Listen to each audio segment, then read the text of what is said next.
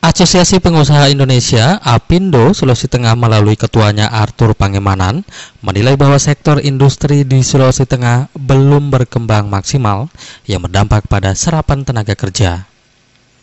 Arthur menjelaskan dari sebanyak satu setengah juta angkatan kerja di Sulawesi Tengah saat ini yang bekerja di sektor industri baru 5 persen atau baru sebanyak 75 ribu pekerja.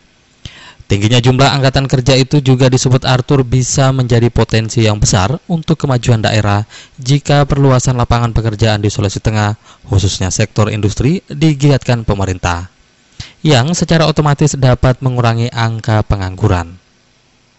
Baru 5% dari serat eh, dari satu setengah juta angkatan kerja yang bekerja di sektor hubungan industrial itu baru 75 ribu artinya baru 5%.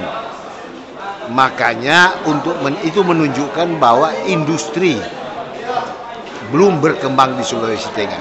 Dengan industri tidak berkembang maka perluasan lapangan kerja juga tidak bisa berkembang dalam hubungan industrial.